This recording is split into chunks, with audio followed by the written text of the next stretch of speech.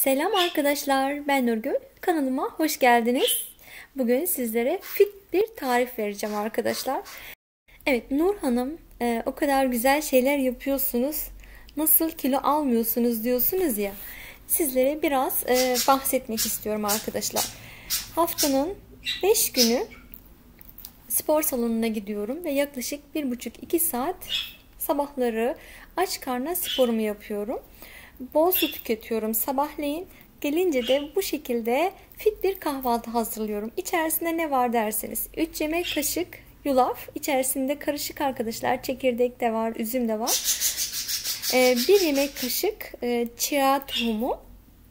1 tatlı kaşığına yakın fıstık ezmesi. Yaklaşık yarım tatlı kaşık bal. Bal kullanmayabilirsiniz arkadaşlar. Tamamıyla tercihe kalmıştır.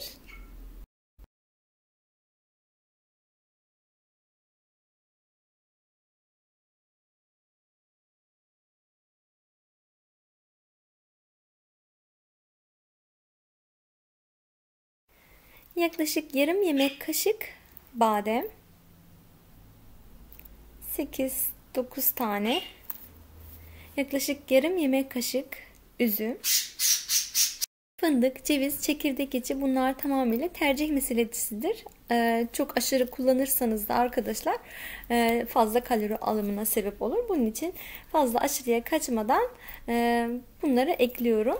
Çünkü bana enerji verecek tüm gün ve üzerine yaklaşık e, yarım bardak kadar süt ilave ediyorum. Karıştırıyorum güzelce ne fıstık ezmesi ve bal eridikten sonra üzerine doğramış olduğum meyveleri ekliyorum. Yeşil elma, armut, çilek bunlar vardı arkadaşlar. Evinizde hangi meyveler varsa e, muz da olur, e, elma da, kırmızı elma da olur arkadaşlar. Dilediğiniz meyveyi kullanabilirsiniz. Hatta kuru meyve de kullanabilirsiniz. Yaklaşık bir yemek kaşık da e, kakaolu e, granola yulaf e, ezmesi ekliyorum. Bu şekilde yaklaşık bir 3-5 dakika bekledikten sonra benim fit kahvaltım yemeğe hazır. Ben sıcak süt kullanmıyorum çünkü çok lapa sevmiyorum. Bu şekilde seviyorum arkadaşlar. Eğer sizler lapa seviyorsanız önce sıcak süt ile yulafınızı birazcık şişirin. Daha sonrasında meyvelerinizi ekleyip afiyetle tüketin. Evet sizlere e, kahvaltımdan biraz bahsetmek istedim. Bu şekilde e, benim günlük menülerimi merak ediyorsanız aşağıya sizleri bekliyorum. Her gün sizlere fikir amaçlı paylaşımlar yaparım arkadaşlar. Umarım beğenmişsinizdir. Yorumlarınız çok değerlidir. Bu videolarımın bu şekilde devamı için arkadaşlar eğer e, kahvaltı önerileri, spor önerileri istiyorsanız yoruma lütfen bildiriniz.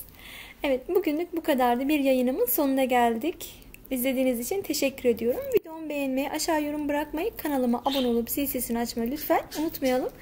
Farklı tariflerde tekrardan görüşmek dileğiyle. Kendinize çok iyi bakın. Sevgiyle ve sağlıkla kalın. Hoşçakalın.